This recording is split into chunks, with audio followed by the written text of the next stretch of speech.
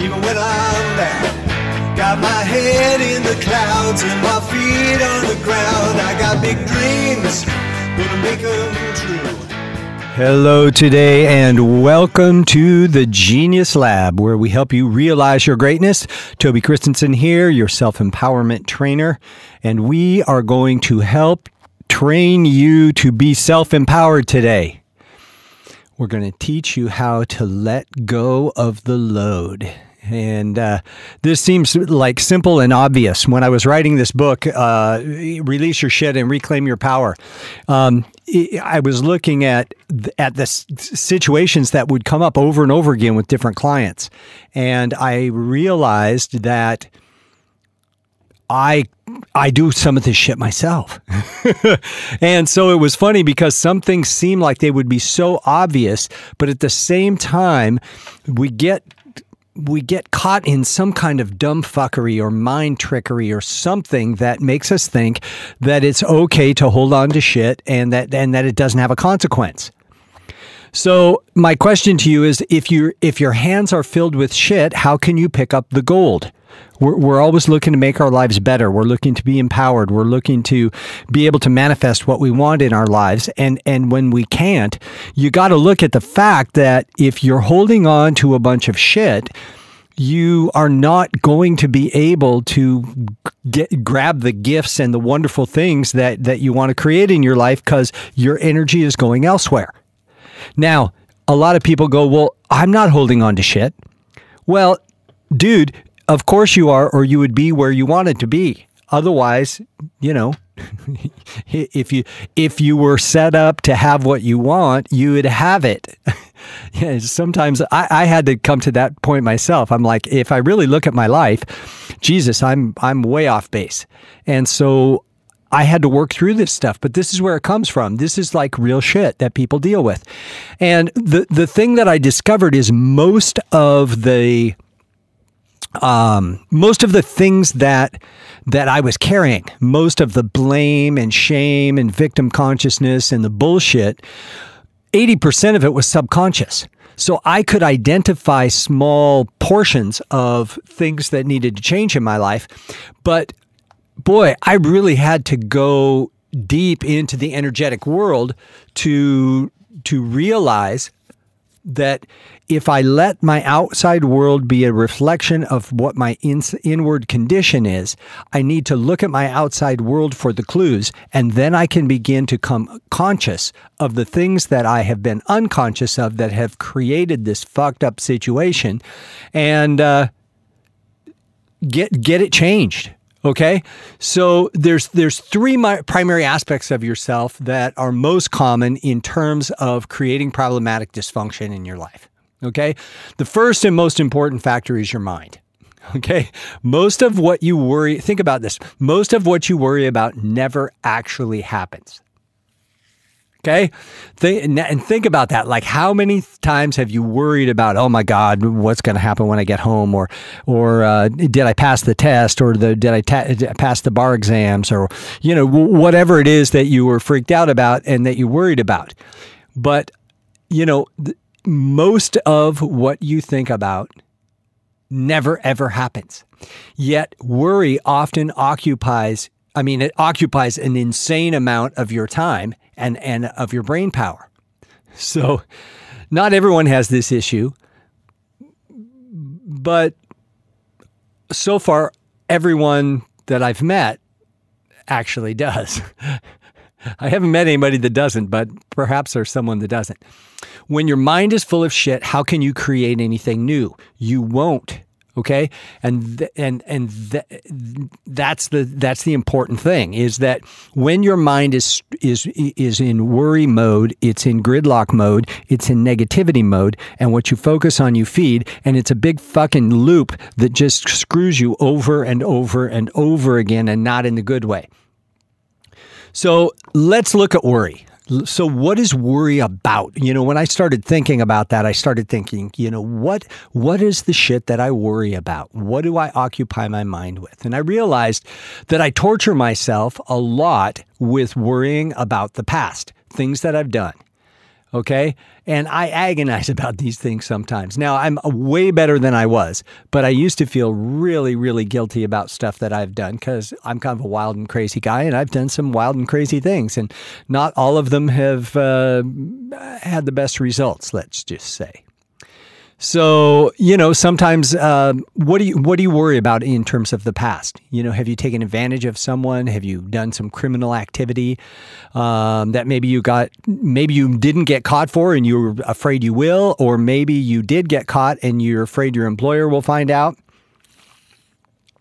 It's uh, you know, what what do you worry about? What happened in the past?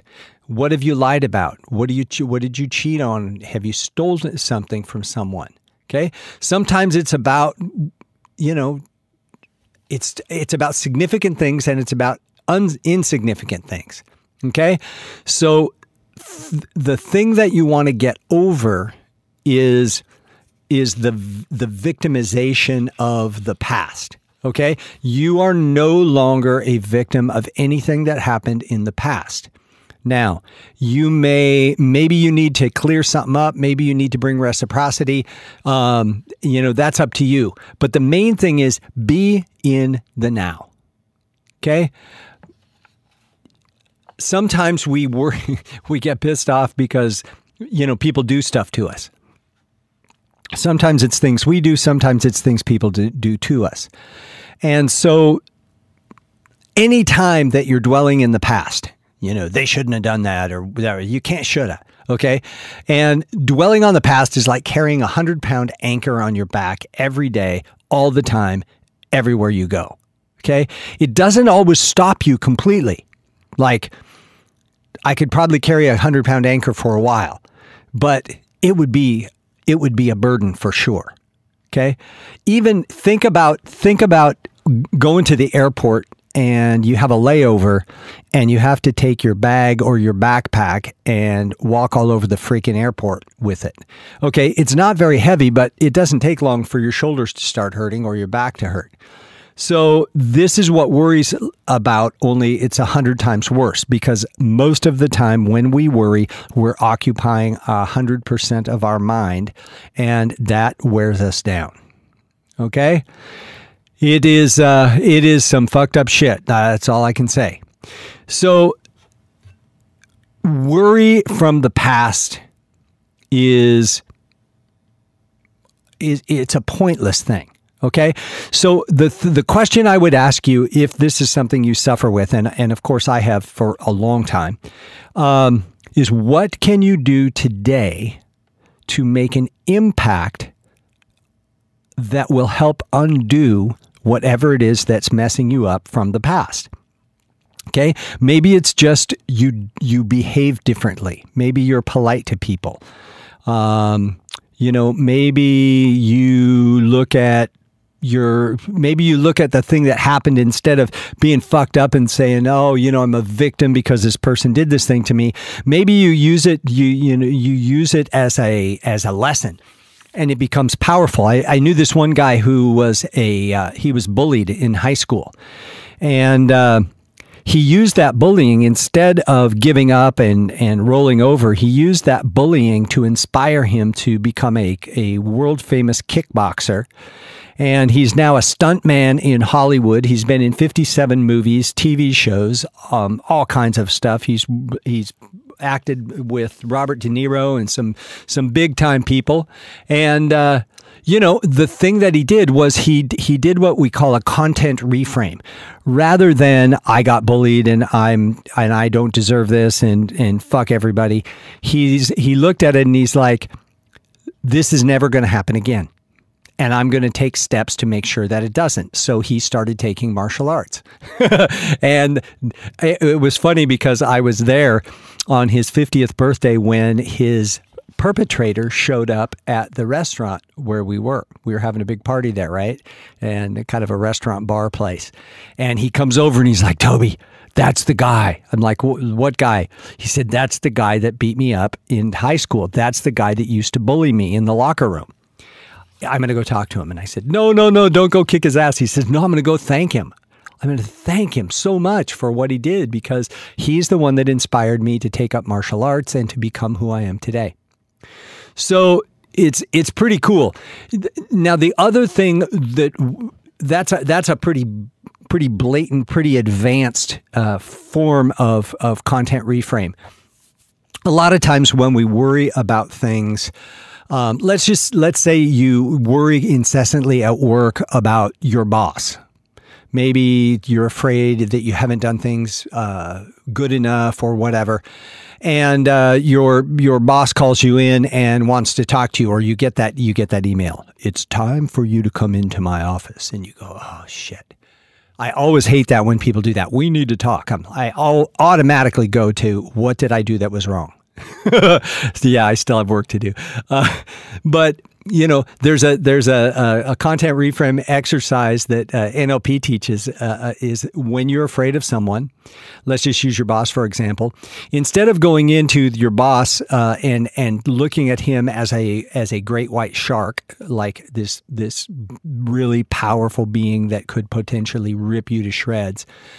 Um, when you walk in the room, immediately put a dunce cap on his head, white paint, uh, uh, clown paint on his face, a big smile, a big red fuzzy nose, and um, big giant puffy uh, gloves on his hands. And then think of your thing as you're looking at him. Think then of this music playing in the background. You know, mu- uh, circus music. You know, and you're and you're and you're hearing this funky pipe organ, and you're seeing this big red dun- big red nose and dunce cap and big white smiley face, and uh, you have to be careful not to laugh. Okay. But what it does, it takes the intimidation away because it shifts the content of your, of your mind. It shifts the content of your, of your perception. And then it allows you to have a different frame of mind when you're dealing with a particular situation. So, um, you know, there, there's a couple of sayings uh, about worry uh, that I think is is funny. I'm I'm not saying don't worry. Worry all you want, okay? And my question is, how's that working for you? and uh, so there's a, a, an old saying that worry uh, never robs tomorrow of its sorrow. It only saps today of its joy. And and I like that. And then and then there's a quote by Mark Twain, something about uh, I'm a I'm an old man who has spent much time worrying about things that never happened, and uh, so when you think about um, about when you think about worry, when you think about letting go of the load, everything that you do when you engage in worry is disempowering I, I, talk. I teach when I'm teaching my uh, my self empowerment courses. I talk about power positive and power negative moves, and worry is definitely a power negative move. It rarely helps anything, and it almost always stagnates progress. So think about that for a bit. Let go of the load. Let go of the load of worry the past, the future. We'll get into that in the next uh, in the next podcast, where we'll talk about worry about the future and uh, the ways that we have a tendency to fuck ourselves over by putting attention and energy towards things that we can't do anything about. So, by all means, worry if you'd like, but I recommend not, and have fun and what you focus on, you feed. So keep looking up.